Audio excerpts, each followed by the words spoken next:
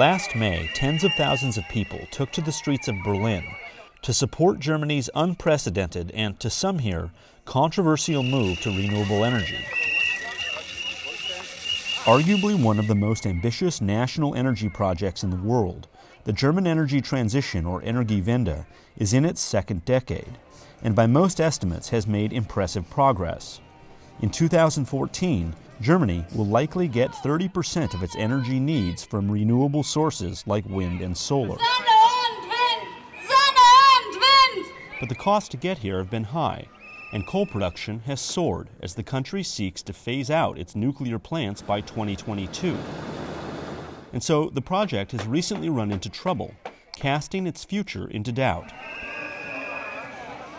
Earlier this year, the German government began to put the brakes on some of the energy transition's key provisions. Damit müssen wir jetzt auch mehr Berechenbarkeit in den Ausbau bringen und deshalb haben wir Pfade, also Obergrenzen festgelegt, wie wir unser Langfristziel, nämlich 2050 80 Prozent unseres Stroms aus erneuerbaren Energien zu erzeugen, erreichen können. That has angered many here who want to see it proceed unhindered. Sicher, wir wollen ja auch gerne Vorbild sein für die Welt. Die Erderwärmung entgegentreten will, dann muss man die Energiewende hin zu erneuerbarer Energie einfach gehen und das in ganz kurzer Zeit und auch zu 100 Prozent. A recent poll showed that nearly 70% of Germans support the goals of the energy transition. This despite the cost to consumers, for whom the renewables charge now makes up nearly 20% of typical household power bills. I think it's really a bottom up movement. Without uh, the people who are busy in it, you cannot understand this energy Energiewende. Continued grassroots support from the German public is critical to the energy transition's success.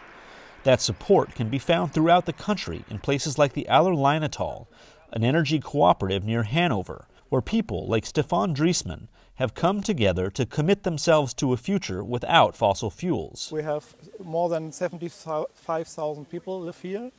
We started 18 years ago, and our aim is to have minimum 100% alternative energies in the Aller-Leine-Tal. We reached this uh, goal uh, two years ago. To reach this goal, the cooperative relies on a broad mix of alternative energies.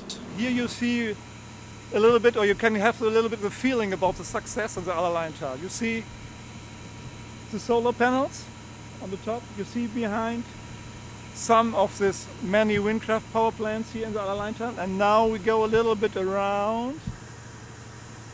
You see the biogas. And if you go below, you can uh, use uh, energy from uh, geothermic, for example. We use corn silage to make biogas and we put this gas in the engine and we use the heat to dry wood chips and also we uh, heat the school inside the town with a pipe with uh, hot water. Generous and costly government incentives have helped farmers like Jokan Usman, who turns a profit making biogas. Northern Germany, in, in the main biogas companies in here, they make it, their main business is biogas. And they make it very good. And when you make it very good, the profit is very good. We are here in the potato storage. We storage here 3,000 uh, tons of potatoes. Uh, the potatoes are only for, uh, for food. Potato farmer Till Eric Meyer uses biogas he produces to power a vast refrigerated warehouse. The advantage of uh, cooling with biogas is we can storage to, um, to May, June, and uh, have the, the whole year I have potatoes. The cooperative also owns and operates several wind turbines. It's a citizen plant. That means we all make it together. And that means for this special one, we had 75 people who are owner of this plant. Everyone from, the, from this 75 people give money. We have 25% of the capital we need and the rest is from the bank. I'm this man with this long hair. the move towards renewables in Germany has a long history, beginning with the anti-nuclear movement that was born in the wake of Three Mile Island. In 1979, there was a big demonstration in, in Hanover. There, The people walk from all around to Hanover. I'm also on a track. In the end, we were more than 100,000 people. It was a really a great atmosphere. In the 70s and the 80s, we have many atomic plants in Germany, and the people don't trust this technology. I think without this environmental movement, we have no energy transition in Germany. Despite the current retrenchment, the energy transition in Germany is moving forward, but its pace has slowed, and its future is uncertain. But if anything, the people here in the Aller-Leine-Tal hope that the progress made so far shows that big changes here and elsewhere are possible. I'm convinced it's really possible. We have the ideas for it and we have also the technology.